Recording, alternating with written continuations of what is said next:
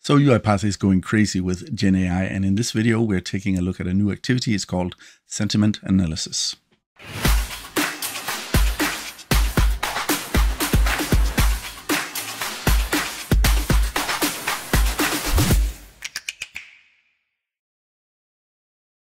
So with sentiment analysis, what you can do is you can measure or analyze uh, a person's sentiment towards some thing, if you have it in text form at least.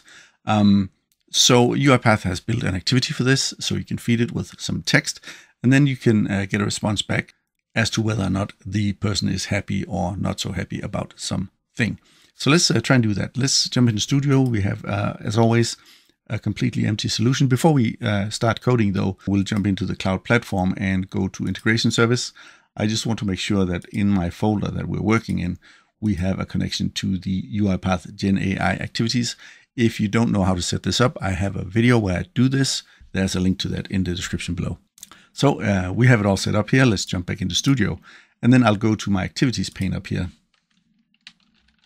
And I'll search for uh, Gen AI. We have this constantly uh, growing list of Gen AI activities.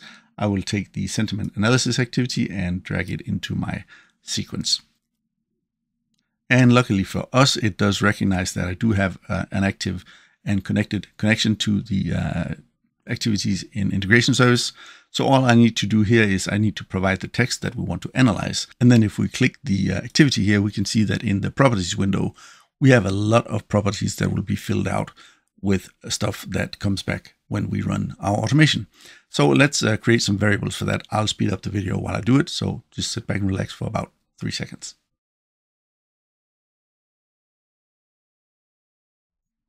So there we go already, except we still need to fill out the text that we want to analyze. So let's uh, see what we can find. What I did is I went to TripAdvisor and I found a hotel, the Crowne Plaza Sun Palace Hotel in Beijing.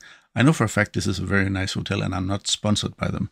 They did once upgrade me to a suite though, so thank you for that.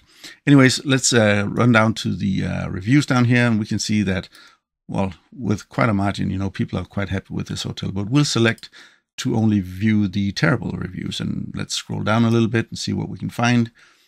Uh, dishonest service here. We'll, we'll copy and paste this text. Someone is not very happy with this hotel. That's okay. We'll paste the text into our uh, expression editor here. Save.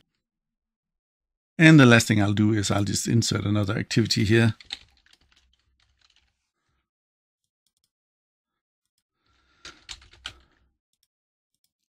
And then set a breakpoint on that so we can inspect the variables once we start running the automation. And let's do that now.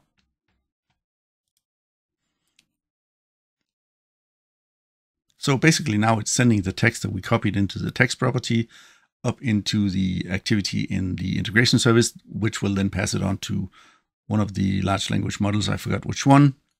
Get a result back, fill out all of those properties, and now we can inspect those. So the first one, overall sentiment. Let's uh, just click that. Basically says that the score is minus 66 and an overall sentiment of negative. Why is that? Well, if we take a look at the my sentiment breakdown variable, um, which is why, what I called it, we can see here that there is one positive statement, there is five negative statements in the text, and then there's a couple of neutral statements, and that makes for a total of eight statements in the text. So that's why it came up with this negative score of minus 66, because overwhelmingly these statements were negative. Cancel out of that. The confidence level score is basically uh, an assessment of how sure is the model that it gave us the correct assessment of these uh, statements or phrases. The key phrases uh, property basically is where the activity gives you sort of a detailed look into each of those eight key phrases and then tells you which phrases were negative, um, neutral, and, and, and so forth. And it also gives a confidence score for each of those eight phrases. The My Analysis uh, property basically is a textual representation of the result. Let's try and uh, clean this up a little bit. I'm not going to read everything, but basically it says the overall sentiment of the text is negative with a normalized score of minus 66 the text contains a mix of neutral, negative, and one positive statement. the negative sentiment is primarily driven by complaints, yada, yada, yada, yada. But here you get sort of a, textual description of, of why it thinks uh, that this is overall a negative uh, statement. Then there's uh, this one is really fun undertones. If we look into that, uh, basically we can, uh, there's two undertones we can see. And if we sort of find each one of them, uh, let's see, where's the second one here? So the first one is disappointment and frustration. And then it, it tells us why this uh, guest feels uh, disappointed and frustrated about his stay at this hotel. And the other undertone is mild satisfaction. Mild satisfaction. I, I like that. Um, but uh, basically, and it describes, you know, there is a mild undertone of satisfaction with the room quality and the effectiveness, effective attentiveness, sorry, of the service, yada yada yada. And then finally, the my sentiment uh, analysis property. That is basically all of this information that we just looked at packed into one JSON object. So you can uh, take that apart in any which way you want and work with it. So sentiment analysis is a fun activity, I think. Um, it does come with a cost because you do need AI units in order to use it. At least when it goes GA, it's still in a public preview, so it's still free to use. But once it goes into GA, you need AI units. Maybe you have that if you use communications mining or document understanding or something. Otherwise, you can use activities that go directly to ChatGPT or Gemini or whatever.